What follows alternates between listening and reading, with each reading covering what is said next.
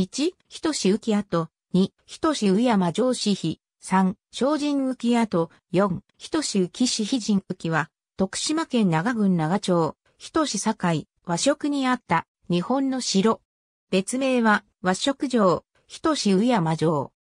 天正年間は、湯浅津島守の居城であり、天正13年に、八須賀家政が、阿波国に入るまで陣歌に地域を抑えていた。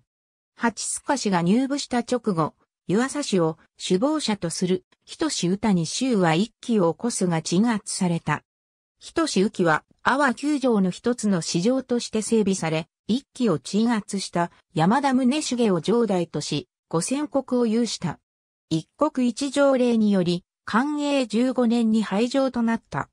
現地に複数ある城郭以降について、どれを人雨期に否定するかについては、諸説ある。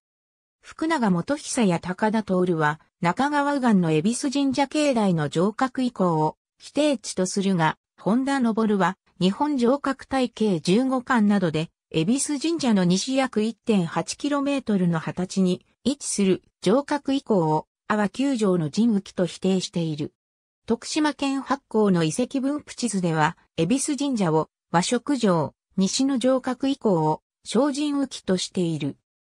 2017年4月から徳島県立埋蔵文化財総合センターが実施した西の城郭以降地点の発掘調査では、空堀や土橋